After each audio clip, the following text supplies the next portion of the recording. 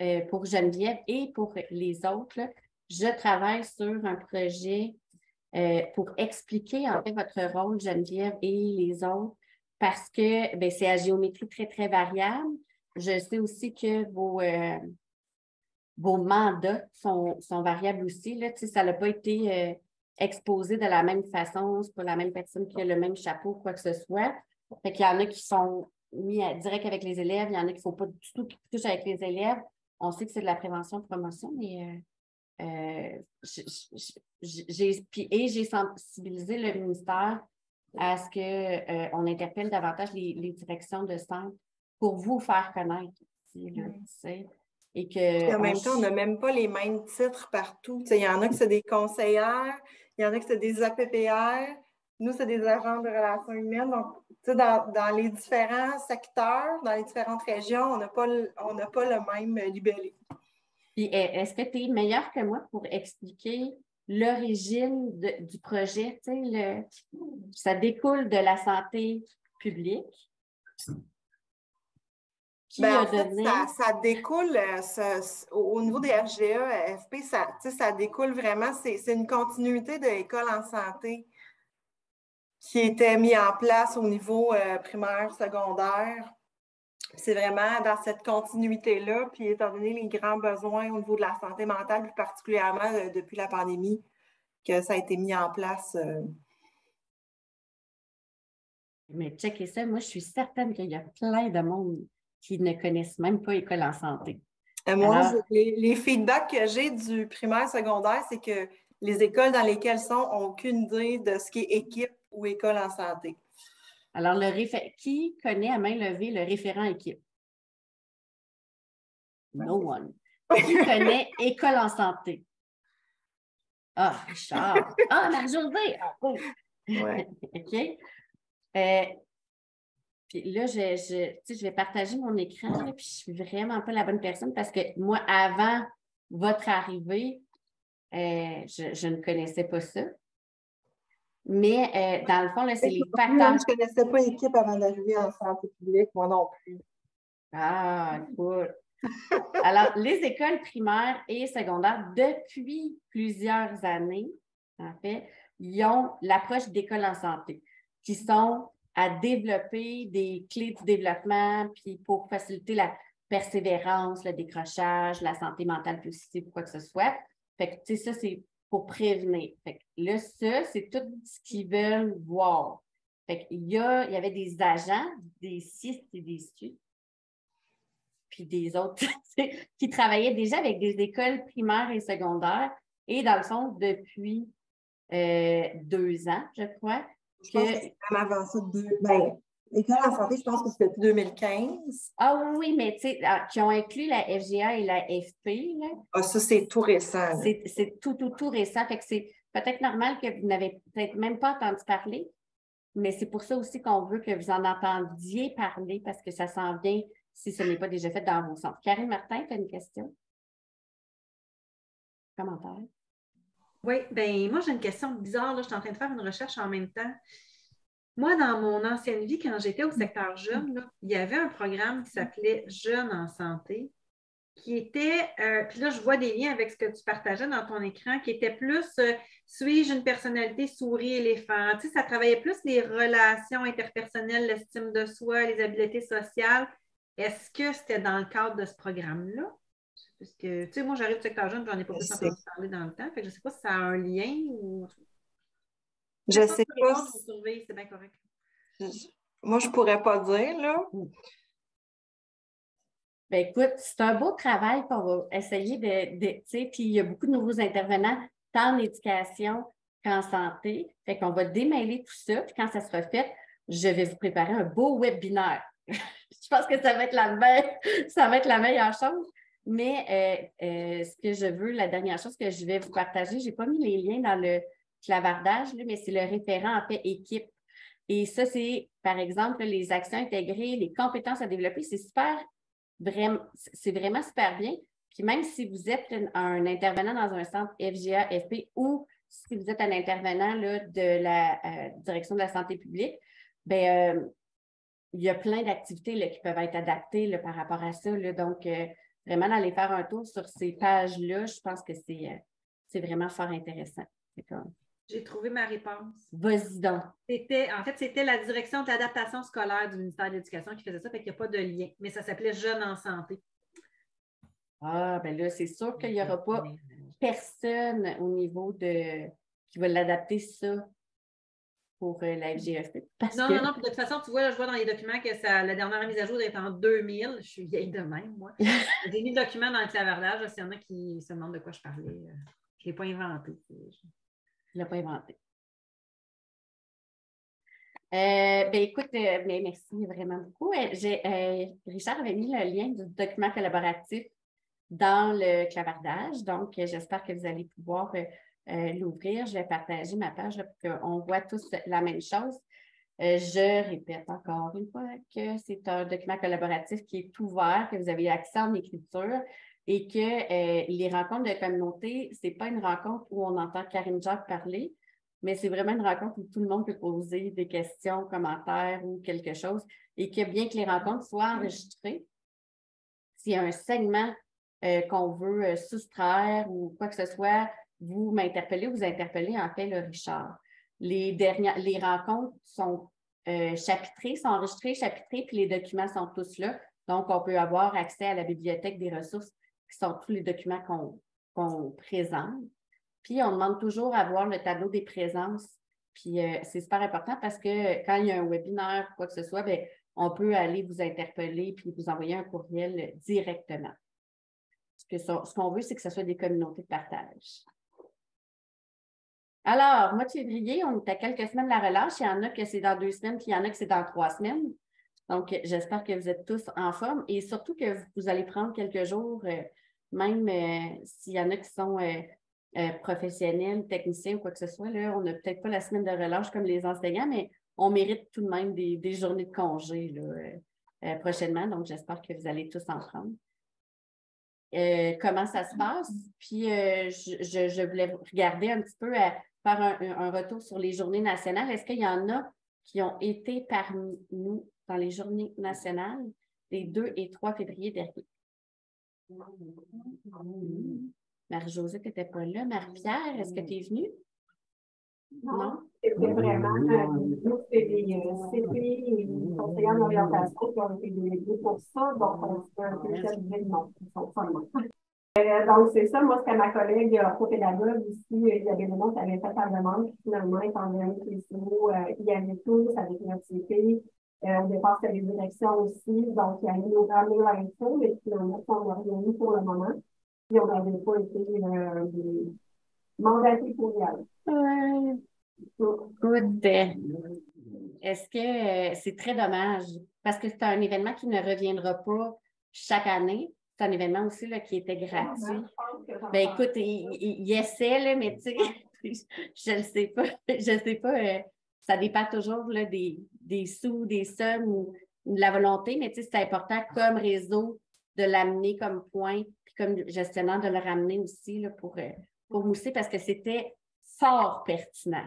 Ben, c'est les commentaires que j'ai eus, honnêtement. Tout le monde en c'était qu'il y avait des ateliers, puis même des gens ont dit, ben moi, je vais retourner voir ça à la PLGA, c'était tellement intéressant, il y avait tellement de stock là-dedans, ouais. qu'ils voulaient retourner à ces ateliers-là. Mais c'est sûr, nous, on va peut-être avoir la chance à la PLGA d'assister à, quelques trucs là-dessus, mais euh, tous les ateliers qui ont été présentés, autant tous les collègues qui se sont promenés dans ces ateliers, n'avaient que de bons droits. Ben, écoute, je peux, te, je peux te le confirmer, effectivement, pour avoir été sur place, ça a super bien été. Nancy, je sais que tu étais là en tant que participante. Est-ce que tu as des commentaires? Est-ce que quoi que ce soit? En fait, c'est extraordinaire. que c'est, mon plus gros commentaire, là. mais euh, non, c'était vraiment bien. Euh, par rapport, moi, je suis allée surtout au niveau des fonctions exécutives et tout, là, par rapport à mon travail de conseillère pédagogique. Là.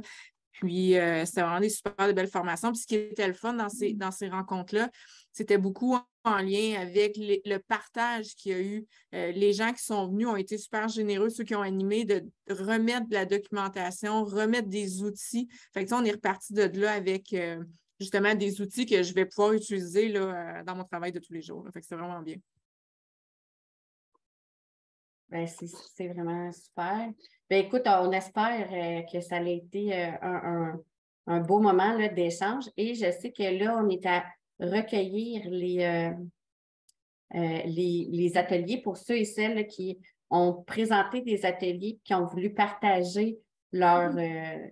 Euh, le fruit de leur travail, dans le fond, et le rendre public. Donc, il y avait jusqu'à vendredi, jusqu'à vendredi demain pour euh, le rendre. Et euh, il y aura, en fait, dans l'onglet formation, un nouvel onglet qui va s'appeler Journée nationale 2023, où on sera déposé les ateliers des gens qui ont bien voulu travailler ça. Donc, à suivre dans les prochaines semaines sur le site des services éducatifs complémentaires et sur le site des SARCA euh, dans euh, Rendez-vous Sarka. Donc, euh, dans les prochaines semaines, ça va être, ça sera fait. Alors, si je reçus l'heure du jour, ben, j'ai invité Nancy, Nancy qui était là, avec qui, avec, qui je travaille plus étroitement là, sur quelques dossiers. Mais pour, au niveau des suivis des élèves, on est souvent interpellé à savoir les notes, comment on, on peut inciter, accompagner les enseignants à, mettre des notes dans le dossier pour soit référer un élève ou pour avoir un, suivi de ce qui se fait aussi là, euh, euh, en classe et ou en rencontre avec un intervenant. Puis, euh, Nancy, toi, tu as accompagné tes, tes gangs, hein, parce que tu en as pas mal, de programmes avec la méthode DIR, fait que je te laisserai la parole. Merci, Karine. Oui, je vois. Euh, il y avait Geneviève qui a levé la main. Je ne sais pas si elle voulait faire une intervention avant que je commence. En fait, je voulais juste dire que j'ai euh, mis euh, dans le chat le, le, cadre de référence du projet promotion, prévention, santé mentale positive en contexte scolaire qui est sorti depuis quelques semaines. C'est notre cadre de référence. Je pense que Karine, ça va être Possiblement bien. Amen. Je ne sais pas si tu l'avais déjà, mais euh, euh, c'est notre beau cadre de référence qui est sorti tout récemment, donc euh, ça va aussi vous donner une meilleure idée écoute, de ce qu'on est censé faire là, dans notre travail. Je viens de trouver ma lecture de chevet. Moi qui n'avais rien à dire à lire. non, c'est pas vrai. Merci énormément, Geneviève, c'est super apprécié. Puis merci, Nancy, d'avoir euh, levé la main là, avec euh, gérer le chat et tout. Des fois, je, j'en manque des bouts. Alors, Nancy, c'est à toi. Donc, ben, salut tout le monde. Euh, en fait, oui, Karine m'a demandé d'être présente aujourd'hui pour vous parler un petit peu de la méthode qu'on est en train de mettre en place dans nos centres au niveau de Marguerite Bourgeois. L'idée est partie du fait que nos enseignants TES, TTS, on avait peu de notes dans Tosca. Je ne sais pas si tout le monde utilise Tosca pour euh, faire le suivi des élèves. Je vois des oui. Euh, donc, on avait peu de notes dans Tosca qui nous, permet de faire, qui nous permettaient de comprendre un petit peu c'était quoi les difficultés de nos élèves. Nos, enseignants venaient nous voir ou les TES, TTS venaient nous voir pour nous dire Hey, je pense que cet élève-là aurait besoin, par exemple, d'une rencontre ou aurait besoin d'un suivi plus serré ou d'une mesure d'adaptation. Et quand j'allais voir dans le dossier, ben, je me rendais compte qu'on n'avait pas, pas de notes. C'était quoi la difficulté? Je ne sais pas. Qu'est-ce qui a été essayé? Je ne sais pas. Euh, donc, c'est à partir de là que ben, j'ai puisé un petit peu dans mon background d'infirmière. J'étais allée chercher euh, la méthode DIR qu'on appelle, qu'on utilise euh, dans le secteur de la santé là, pour, chez les infirmières, surtout les infirmières auxiliaires qui l'utilisent. Infirmières, on utilise le DIE, mais bon, ça revient sensiblement à la même chose. Là, je vous fais ça court. le DIR, données, intervention, résultat. Euh, donc, c'est un petit peu la, structure que les enseignants leur demandent de suivre avec cette méthode-là. Euh, je vais vous faire un partage de mon écran. Euh, au niveau de la méthode DIR, c'est ça. C'est vraiment dans le cadre des enseignants. une des choses qu'ils nous disaient souvent, c'est oui, mais je ne te fais pas de note parce que je ne sais pas quoi t'écrire. Qu'est-ce que tu veux dans ta note?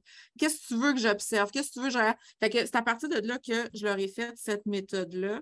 en fait, si je descends Vous allez voir là, ici, ben, je leur ai mis un petit peu. Euh, ça, c'est le document là, que je leur remets quand je fais la formation, des, surtout des nouveaux enseignants en ce moment dans l'insertion professionnelle.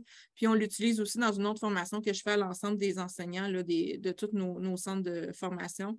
Euh, et les directions aussi, en fait, je, je parle des, je parle des, intervenants, là, mais les directions ont eu l'information aussi à ce niveau-là. Fait que de plus en plus, il y en a qui s'en inspirent. Euh, donc, oups, je suis descendue trop, trop bas. Attendez une minute, excusez-moi.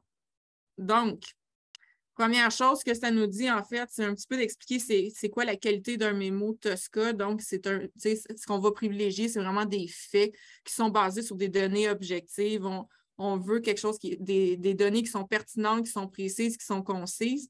On ne veut pas un roman nécessairement parce qu'ils n'ont pas le temps puis c'est trop long, les enseignants ne le feront pas. Fait qu'on veut vraiment que ce soit le plus euh, concis possible. Puis ce qu'on veut éviter, ben, c'est des jugements, des critiques, tout ce qui est interprétation. Fait on leur dit de faire attention.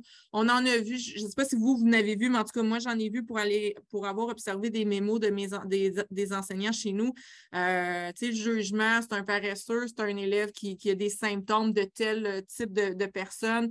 Euh, j'en ai vu de tous et sortes, je ne vous les sortirai pas ici, là, mais j'imagine que vous, pouvez vous savoir un petit peu quel type de commentaires qu'on pourrait voir.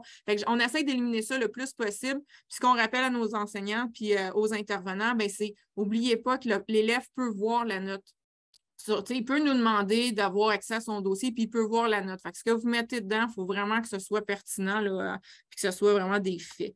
Euh, par la suite, donc, ce que, ce que je vous ai mis dans le document aussi, c'est tout ce que, ce que ça veut dire chaque section. Fait que le DIR, on l'a dit tantôt, données, intervention, résultats. Bien, dans les données, je suis venue un petit peu travailler avec les enseignants et les intervenants pour dire, bien, c'est quoi vos observations? Fait que toujours la donnée objective pour commencer. Qu'est-ce que tu observes chez ton élève comme difficulté? C'est quoi les, ça peut être à travers les travaux, ça peut être à travers les réponses qu'il vous donne, ça peut être au niveau du comportement, du savoir-être, au niveau de ses actions. Il peut avoir plusieurs, euh, éléments qui peuvent euh, être mentionnés dans le mémo. Puis, je les dirige un petit peu, je ne sais pas si vous, euh, connaissez le, document là, Intervenir pour réussir, pour venir chercher vraiment les manifestations observables. Si jamais vous ne le connaissez pas, Karine peut très bien vous référer. ce document-là, elle le connaît très bien. Euh, donc, c'est un document où ça nous permet un petit peu de savoir ben, qu'est-ce que je regarde chez mon élève, c'est quoi les manifestations que je peux avoir dans ma classe, puis ça vient vraiment les catégoriser euh, en lien, par exemple, avec l'attention, avec le Là, ils me viennent comme pas, là, mais tout ce qui est attention. L'impulsivité. Ça, en fait, c'est intervenir pour réussir, c'est vraiment par une approche non catégorielle, puis de, de besoins, puis de manifestations, ce qu'on voit dans notre classe. Là. Vous l'avez probablement vu, c'est depuis 2017 qui, qui roule.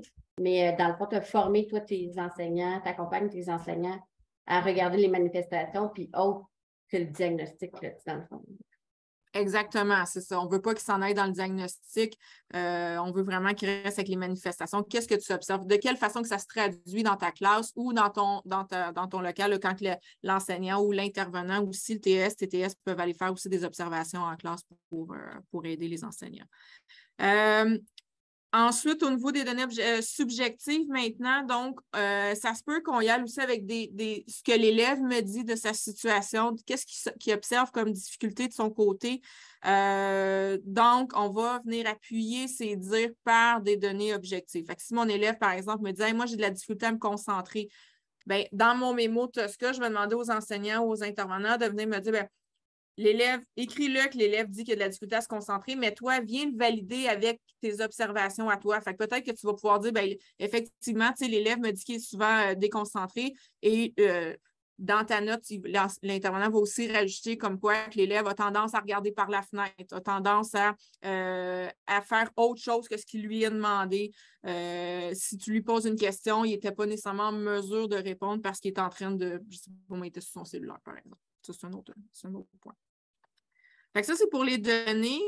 Au niveau des interventions, ben, on vient encore avec intervenir pour réussir parce que dans le document, la façon que c'est fait, c'est que d'un côté, on a les stratégies, euh, les manifestations observables et de l'autre côté, on a vraiment les stratégies, donc les interventions qu'on peut faire avec notre élève.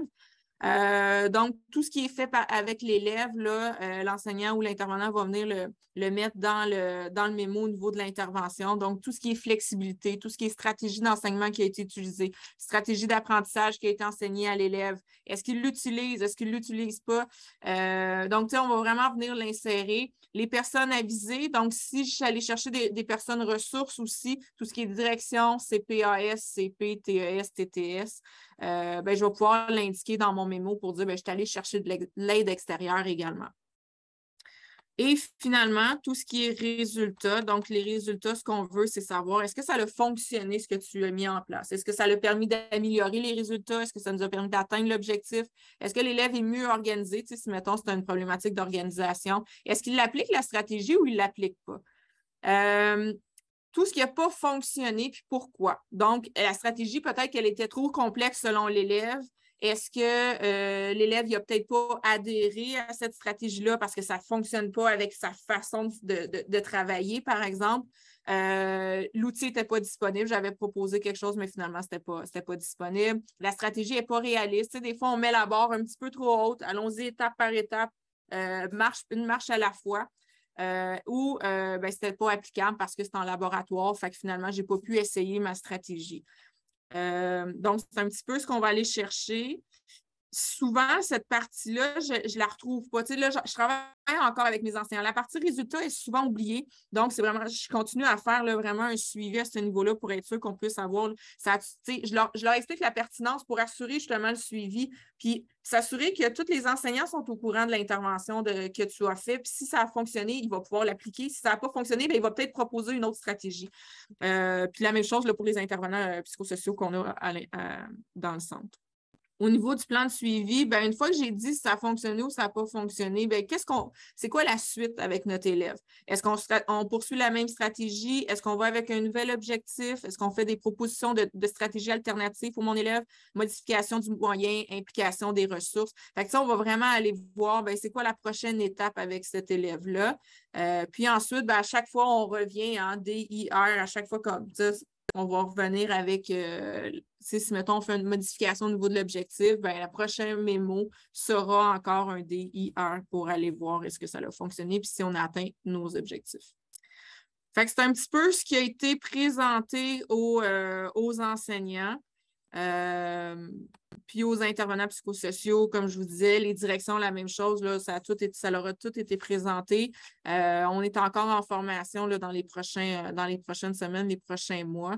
Euh, puis ce qu'on va faire aussi, ce que j'ai envie de mettre en place, c'est vraiment des ateliers pour faire du, de la pratique. Fait que mise en situation, euh, peu importe, on remet une petite mise en situation, on demande aux enseignants ou aux intervenants de faire leur mémo Tosca à partir de cette mise en situation-là. Puis après, moi, je reviens là, pour avec eux autres en une petite rétroaction là, pour m'assurer que ça a bien été compris. Fait que c'est un petit peu de la façon qu'on fonctionne. Et voilà. Puis euh, c'est bien parce qu'il y en a qui le connaissent aussi, là, ceux qui sont mm. ici du domaine de la santé, euh, ça, ça doit leur parler aussi, cette méthode-là ça vient comme clarifier un peu là, chacune des étapes. Je ne sais pas comment ça se passe, le suivi, euh, les références ou euh, du moins dans votre milieu. Est-ce que moi, en fait, c'est sûr qu'on m'interpelle quand ça ne va pas bien. Fait que c'est bien rare que quelqu'un me dise ça va super bien à mon centre. Je fais plein d'activités de prévention, promotion. Je ne perds pas d'élèves. Ils ne sont pas absents. Fait que, mais tu sais, euh, vous autres comme intervenants, est-ce que est-ce que vous trouvez que les notes de suivi, le suivi des élèves se fait bien? C'est quelle est votre réalité? Je suis vraiment étonnée. Personne dit Hey, chez nous, ça va super bien, on a trop d'informations. ben, euh, moi, je peux te dire que des fois, pour avoir euh, euh, vu beaucoup de notes Tosca dans ma vie, des fois, j'ai trop d'informations. Je n'ai pas de l'information qui est nécessaire à avoir et qui pourrait porter préjudice souvent, moi, à des élèves. Là, Puis effectivement, comme Nancy a dit, euh, de prendre conscience que TOSCA, c'est du domaine public et qu'un élève peut, demander ses notes TOSCA de son dossier. Euh, je ne suis pas sûre que tout le monde serait à l'aise à les présenter. Marie-Pierre? Ben, nous, c'est comme euh, une explosion d'informations. Il y en a sur TOSCA, à ce temps, c'est parti, ils débarquent dans le bureau. Fait que, honnêtement, l'information, c'est à un moment donné, Ben, tu l'as-tu vu? Ben, je l'ai vu, tu me l'as écrit. Tu sais, des fois, on ne sait plus là, vers où se tourner parce que l'information est visée un peu partout. Il n'y a plus de, de consignes, de feuilles de vie à un moment donné. Un peu le, la place où les gens ventilaient. Là, il y avait vraiment des jugements, ben, franchement, voir si ça a bon sens. Tu sais, c'était plus des choses de même dans la lutte. J'étais pas fou. Fait il y a eu quand même beaucoup d'interventions dans notre direction par rapport à ça. À un moment donné, personne n'écrivait bien. Là, c'est revenu. à chaque fois, on dirait. Moi, c'est la première fois que je vois ce document-là. Fait que je suis comme, oh, c'est intéressant, quelque chose de beau à partager avec mon équipe. Euh, puis c'est pour les profs, mais pour, entre les professionnels aussi, c'est difficile parce que moi, j'ai des collègues professionnels qui veulent rien mettre à cause de la confidentialité, de leur puis ils me disent, moi, je peux bien mettre. OK, mais on va le savoir comment. Puis, fait, à un moment donné, c'était comme, ben oui, au moins, tu as le droit de marquer ça, marque que tu es en suivi. Fait que, il y a toujours euh. J'ai des collègues, moi, qui marquent rien du tout. J'en ai qui en marquent trop. J'en ai qui je peux Puis, je sais que chacun a sa façon de, de, de marquer. Il me dit, moi, je marque toujours au moins, bon, en suivi. Si vous avez des informations, ben là, vous devez voir. Là, il y a des choses que je vais vous partager comme plus, euh, plus personnellement. Tu sais, je fais vraiment attention à l'information que je transmets, mais effectivement, c'est comme euh, c'est difficile de euh, le vrai sens de ce temps. Euh, c'est super intéressant. Puis euh, effectivement, le, le j'ai interpellé le ministère et Marc, qui est mon acolyte euh, euh, au niveau des, euh, des, des, responsables SARCA, que font partie les conseillers d'orientation bien souvent, avec le partage d'informations, qu'est-ce qui relève de la confidentialité, puis de là, puis des pratiques, voyons, comment on appelle ça, Marc, les, voyons, les actes réservés. Euh, puis, mais tu sais, de savoir c'est quoi. Puis là, c'est juste que je le cherche en même temps que je parle, mais c'est inscrit là, dans les lignes directrices que euh, on, doit partager de l'information lorsqu'on interagit directement avec un élève. Donc, tout professionnel, ne serait-ce que de dire qu'il est suivi avec euh, cet intervenant-là, sans entrer dans les détails, sans dire quelles sont les, choses, bien, ça fait en fait une, sécurité. Puis ça, ça a été clarifié dans les lignes directrices actuelles. Euh, parce que sachez qu'ils sont, euh, qu'il y a une, révision, une réédition aussi des, des cadres du cadre de référence des lignes directrices qui sera fait. Euh, je, ben, je, dis prochainement, mais je n'ai pas de date prochainement. les fonctions, les responsabilités, donc même les professionnels, c'est quelque chose qui, qu'on est appelé à se pencher parce qu'il y a de plus en plus de professionnels avec des, euh, des ordres professionnels. Donc, qu'est-ce qu'on partage, quoi que ce soit, mais il faut savoir qu'on intervient avec un élève euh, directement. Donc, intéressant, Marie-Pierre, ton point de, de, vue. Aussi, par rapport à la plateforme, en fait, qui est utilisée. Donc, Marie-Pierre, est-ce que présentement, les gens se tournent encore vers Tosca? Oui, c'est toujours Tosca ici pour les Excellent. Est-ce qu'il y a d'autres réalités? Nancy? Bien, si je peux me permettre juste de dire que de notre côté aussi, on a eu cette euh, discussion-là avec les TES, TTS concernant ce qu'ils pouvaient mettre dans un dossier ou non. Là. Puis on en est arrivé à se dire, bien, qu'est-ce que l'enseignant ou les autres intervenants ou tous les acteurs, en fait, qui travaillent au niveau autour de l'élève, qu'est-ce qu'on a besoin de savoir? Je n'ai pas besoin de savoir que mon, mon élève vit des difficultés, quelles sont les difficultés qu'il vit à la maison, par exemple. C'est de l'ordre du confidentiel. Mais par contre, j'ai besoin de savoir qu'il vit des difficultés, tu sais. Comme nous autres, ce qu'on s'était dit, c'est écrivez que l'élève vit des difficultés, mais venez pas détailler cette problématique-là. Toi, tu l'as dans ton dossier, c'est correct dans tes notes personnelles, mais ça ne va pas, ça va pas à ce niveau-là. Euh, mais je leur demande quand même de faire une note, une mini-note, puis dire, ben, as-tu des interventions qui pourraient venir aider les enseignants ou les autres intervenants? L'élève, par exemple, vit de l'anxiété. Parfait. Qu'est-ce qu'on peut faire comme intervention pour venir l'aider? Viens donner des pistes de solutions, viens donner des recommandations aux enseignants pour qu'ils soient en mesure le plus possible d'aider cet élève-là. c'est vraiment dans ce sens-là qu'on l'a pris, mais d'éviter tout ce qui est confidentiel, je ne veux pas l'avoir là. Puis on a eu des interventions dernièrement justement parce que ben, on a beaucoup de nouveaux personnels aussi, beaucoup de nouveaux TES, TTS. Euh, fait que, on se retrouvait des fois avec des choses. Puis là, quand, quand ils commencent, moi, je leur dis tout le temps, mettez-moi en CC. Bon, un moment je me retrouve avec 100 mémos en pas grand temps, là, mais surtout les premières semaines, mettez-moi en CC dans, votre mémo. Fait que comme ça, je suis capable d'aller lire. Puis là, je fais une rétroaction avec le, le TES, TTS. Puis à ce moment-là, on va faire on va venir épurer. ça m'arrive souvent d'épurer ou de dire Ah, non, celle-là, viens, viens plus, viens me donner un petit peu plus d'informations, viens, viens, euh, il manque un petit peu de, au niveau de ton intervention de qu'est-ce que tu veux vraiment parce que c'est pas clair. Ça manque de, tu viens clarifier finalement. Fait que c'est vraiment comme ça qu'on le travaille. Mais ça, je trouve ça bien que tu aies un, un œil euh, professionnel pour soutenir les intervenants, puis que euh, je trouve ça fort apprécié parce que des fois, on se retrouve euh, tout seul à arriver, puis euh, faut que ce soit fait que fort pertinent. Merci, Nancy, de la méthode dire, puis les exemples aussi, là, comment ça se vit dans votre centre, dans vos centres, parce que tu as un service de combien de centres FP, toi? J'ai six centres sur à peu près 10 bâtiments, si je ne me trompe pas, 10 établissements. Ouais.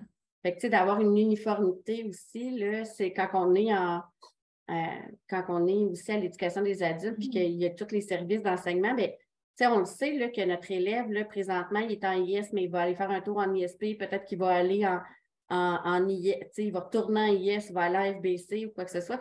D'avoir une uniformité dans où est-ce que je consigne les informations, quand je les consigne, quand je lève mon drapeau rouge, euh, et euh, qu'est-ce que je mets qui ne portera pas euh, préjudice aussi à, mon élève. je pense que ça, c'est d'autant plus pertinent. Merci. mais je vais passer avec les autres points. Je vais repartager l'écran.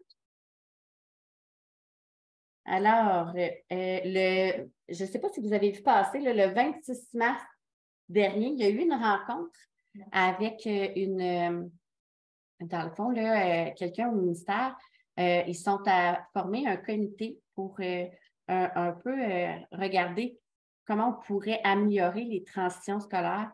Donc, de la FGJ à la FGA, de la FGJ à l'AFP, de la FGA à l'AFP, et aussi les transitions à l'interne. Donc, quand un élève aussi quitte, par exemple, la francisation puis arrive en FBC, bien, des fois, nos transitions à l'interne ont vraiment même besoin d'être euh, euh, ben, bonifié, j'ose dire bonifié. Euh, fait que, alors, il y a eu une première rencontre le 26 mars et il y aura en fait une deuxième rencontre. C'est pour recueillir vos besoins, qu'est-ce qui devrait être fait, qui devrait faire quoi, quand est-ce qu'on fait? Puis, et, puis aussi, dans le fond, cette première rencontre-là, le 26 janvier, c'était hyper pertinent parce qu'il y avait plein, au, fil des questions, il y avait plein d'initiatives aussi là, du réseau euh, qui se fait à gauche et à droite. Fait que je pense que mm. c'est en début de processus, ben écoute, le comité qui travaille sur ce, le comité de transition est intéressé à avoir un peu le pouls du réseau. C'est pourquoi le 30 mars, on va refaire une rencontre de 15 à 16 heures. Donc, vous êtes invités à le partager aussi à vos intervenants dans vos centres pour euh, regarder s'il y en a qui sont interpellés par les transitions. Ce n'est pas une journée où on va faire les meilleures pratiques gagnantes. C'est vraiment pour essayer de de regarder quelles sont les préoccupations, qu'est-ce qu'il ne faudrait pas oublier de dire euh, dans ce cadre-là, ce guide-là, je ne sais pas qu'est-ce que ça va être, du moins. Euh, et si vous ne pouvez pas être là, il y a le questionnaire là, pour euh, y répondre. Donc, vous pouvez le partager aussi à vos collègues pour, pour ce sujet-là. Sinon, ben, on se donne rendez-vous le 30 mars à 15 heures pour savoir les besoins. Causerie virtuelle. Alors, je ne sais pas s'il y en a d'entre vous qui ont participé aux causeries virtuelles qui ont débuté à l'automne et que malheureusement, on a dû, on a dû arrêter, mais qui seront repoussées. L'idée, c'est de comprendre un peu quel est le travail, par exemple, d'un agent de réadaptation, d'un agent de service social à la FGA et à l'AFP. Ce n'est pas pour dire il faut faire ça, il ne faut pas faire ça. On n'est pas gestionnaire, c'est pas quelque chose, mais c'est un peu de répertorier un peu qu'est-ce que qu'est-ce que ça peut faire, en fait, une TES, sur quoi ça peut répondre au niveau des services complémentaires et des SARCA. Donc, il y en a qui ont, qui ont eu lieu, donc c'est pourquoi ils ne sont pas tous là. Si votre record d'emploi n'est pas là, c'est qu'il a déjà été fait au courant de l'année, euh, au courant de l'automne. Mais ceux et celles qui sont là, donc il y a euh, les prochaines à venir. donc du mois de mai au mois de juin. On vous demande de vous inscrire parce qu'on vous envoie un, un, courriel de rappel qui vous dit euh, c'est quand, ça va se passer de quelle heure à quelle heure. Et euh, ben, moi, je vous le dis, ça se passe dans la communauté des après-cours. Donc, euh, c'est sur le groupe Ton Rouge dans les après-cours qu'on fait, qu'on fait ça. Ce sont des rencontres qui sont non enregistrées et sur lesquelles c'est hyper intéressant de réfléchir ensemble à, comment on peut mieux faire comprendre aussi les rôles, l'expertise des gens aussi, parce que c'est appelé à, à grandir. Puis, s'il y en a qui sont en FGA, FP depuis des années, ben, il n'y avait pas d'intervenant avant. Donc, le prof, c'était un peu un, couteau suisse. Je l'appelais mon couteau suisse parce qu'il jouait le rôle d'intervenant. Il, y avait un, CO ou quoi que ce soit. Donc, il n'y avait pas de CP. Qu'est-ce que ça fait un CP? Fait de regarder un peu qu'est-ce que ça fait un CP, qu'est-ce que ça fait une psychoéducatrice, qu'est-ce que ça fait une technicienne, ben, je pense que c'est quand même euh, super intéressant. c'est grandement demandé un peu euh, euh, au travers de certaines de mes rencontres. Donc, c'est un super beau chantier, lequel euh, je suis contente d'y travailler. Vos formations, votre développement professionnel, euh, je, suis curieuse de savoir où est-ce que vous le prenez, quels sont les congrès, les colloques, les pages même que vous suivez pour que dans votre travail, elles vous sont utiles? Donc, je ne sais pas s'il y en a qui veulent les partager. Moi, j'ai mis ceux et celles qui sont pertinents euh, du moins là, pour, euh, pour nous, mais il y en a vraiment, vraiment plein. Mais prochainement, il y a le congrès des instituts des troubles d'apprentissage avec lequel il y a 12 ateliers concernant la FGA et la FP. Donc, euh, c'est, je pense que c'est leur 48e ou 49e congrès. Puis avant, c'était très, très jeune. Puis là, ils sont en train d'ouvrir pour les adultes. C'est très pertinent à avoir. Il y a la FGA, donc c'est sur les intervenants à la formation générale des adultes c'est à Chicoutimi cette année. Et il y a les conférences connexion. Alors, euh, ça fait plus de 15 ans qu'ils font ça. C'est sur euh, la santé mentale des jeunes. Euh, ils offrent plusieurs formations en ligne par année. Est-ce qu'il y en a d'autres ou d'autres organismes que vous suivez qui seraient pertinents peut-être à partager avec cette belle communauté? Ben moi, je, je pourrais en fait proposer il y, a, le centre RBC d'expertise en santé mentale qui est en train de développer tout le pan euh, FGA, euh, FP en ce moment. Là, euh. donc, il y a de plus en plus d'ateliers à offrir ça au personnel scolaire. Puis il, y a des ateliers aussi pour les élèves qui s'en viennent au niveau de l'anxiété, du stress, du bien-être. donc, ça, je pense que ça peut être intéressant. Là, pour tous. C'est en plein, plein euh, développement, euh, ce, beau site-là. Et c'est vraiment super bien. c'est euh, à la suite de partenariats qu'on a créés là, avec le centre RBC, qui sont allés chercher du financement pour adapter le matériel hors piste, qui est pour la prévention des troubles anxieux, pour notre clientèle en FGA-FP. Donc, c'est du matériel quasiment le clé en main là, que, que, l'on offre. Euh, et euh, ben, la semaine passée, Geneviève, on avait une rencontre de suivi euh, avec eux, fait qu'ils nous font une avancée là, des, travaux, mais assurément, quand ça sera fini, on va faire quelque chose de plus officiel. Mais tant pour vous là, qui sont des intervenants de la santé que les intervenants dans les centres, c'est hyper pertinent, ce matériel-là. Et aller visiter le centre RBC, pas juste le programme hors piste, parce qu'il y a vraiment plein de ressources. Il y avait Marie-Pierre tantôt qui avait la main levée. Euh, oui, en fait, euh, oh, euh, c'était juste pour dire, moi, il y avait prochainement, ben, prochainement au mois de mai, il y a un congrès euh, CQJDC, tout ce qui est comportemental, affectif, social aussi, qui a lieu, je pense que c'est le 23 mai, je sais plus, ces trois jours y a la possibilité de le faire aussi euh, en virtuel ou en présentiel. Donc, il a fait des deux formules. C'est quand même intéressant parce que la KFGA est euh, pas tellement loin, là, fait que des fois, tu euh, ces jours pour déconduire, ça fait tout en fin d'année. Merci vraiment parce qu'effectivement, je regardais les, les anciennes programmations, puis c'était extrêmement pertinent. Vraiment, euh, les fois que j'ai eu l'occasion de participer, c'est vraiment génial. Fait que c'est le 3 mai finalement, j'étais dans Excellent, super. merci. On met ça dans notre carnet d'adresses.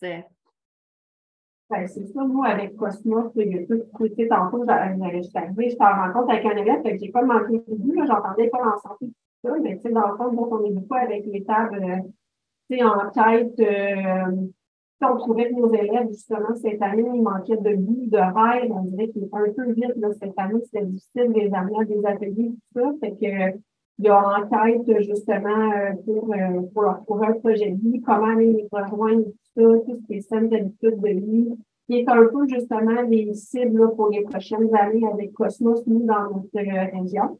Fait que chaque intervenant, il y a la table MSP, fait les CO vont plus aller là-dessus. Moi, j'ai demandé pour un peu sur les saines habitudes de vie.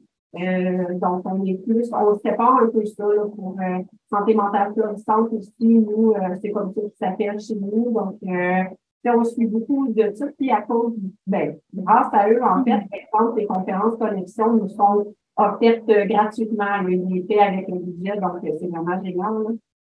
Puis est-ce que, dans le fond, toi, tu es dans la région de euh? Des quoi? Kamouraska. Euh, ah, Kamouraska, Rivière-du-Loup. C'est ça parce que je voyais que Cosmos était dans le Bas-Saint-Laurent. Fait que, euh, fait que je sais pas. Cosmos différent. Fait que pour l'avocat c'est pas je suis avec eux. Pour Rivière-du-Loup, c'est un autre. Fait que c'est pour ça qu'on se partage un peu les tâches parce que ça fait beaucoup de petites rencontres. Puis, euh, donc, on essaie de regarder selon nos mandats euh, qu'est-ce qu'on veut, euh, ce sur quoi c'est mieux d'assister. Oui, mais c'est hyper, hyper pertinent. Euh, je, suis interpellée avec euh, tout ce qui est euh, l'image de soi. la, voyons, j'ai tellement pas les bons mots. C'est ben, l'image de soi, la relation avec son corps, la relation avec la nourriture, la relation, tu sais. fait qu'on ne rentre pas nécessairement dans les troubles alimentaires, mais beaucoup l'image corporelle. Est-ce que c'est des, des, sujets qui vous sont demandés par les élèves, qui vous sont rapportés? Est-ce que vous êtes bien formés par rapport à ça? Est-ce que vous appréciez? Moi, je suis toujours en quête de savoir quels sont vos besoins. Ça me permet d'avoir, d'aller chercher les bonnes ressources, d'organiser des formations pour, euh, pour vous lorsque ça m'est rapporté comme un besoin. Marie-Pierre? Ben, c'est très drôle parce que ce matin, moi, j'ai assisté, je ne sais pas si à ma d'autres, on était quand même 1400, donc il y a des choses que des gens qui ont été interpellés. Il y avait un symposium sur euh, la grossophobie puis euh, l'image corporelle. Donc, ouais. mieux s'utiliser pour mieux intervenir. Puis, en fait, euh, ils ont sorti une méga boîte à outils, justement, pour autant qu'on puisse utiliser comme intervenant, comme professeur, comme direction, comme ressources humaines, là, euh, d'accueillir justement une nouvelle euh, collègue euh, qui ne rentre pas dans sa chaise, ben, comment on peut bien offrir, bien l'accueillir pour pas qu'elle soit mal, puis qu'on demande toujours le panier bien médical pour regarder l'ergonomie, tout ça.